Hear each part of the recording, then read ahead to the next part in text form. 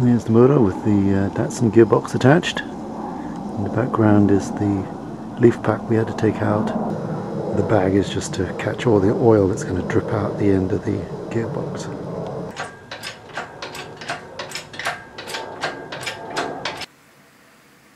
So I mounted the motor and gearbox vertically so that when I remove the motor there's not too much strain put on the coupling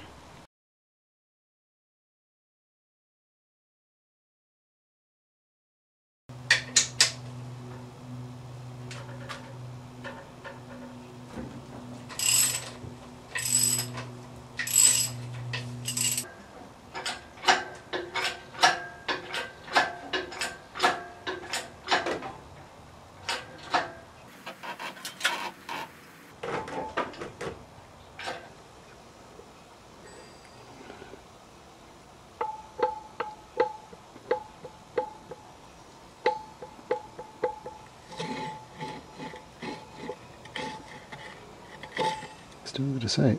Could still just be a coupler between the aluminum plate here and the coupler. There seems to be some shaving of metal there. Just going to test the Allen lock nuts.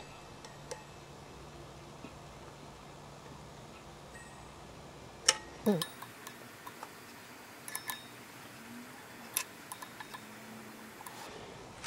Every single one of those is loose.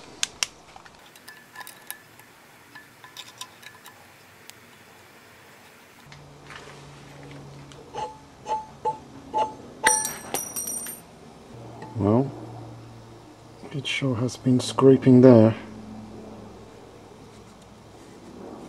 So that's probably all the noise was.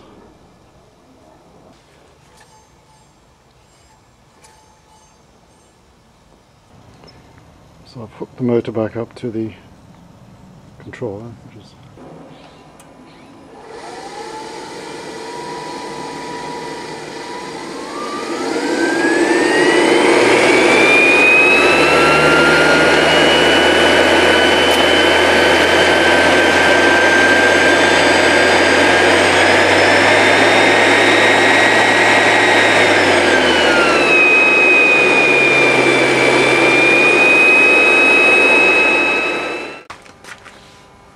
that's spun up to 6,000 RPM, no bother.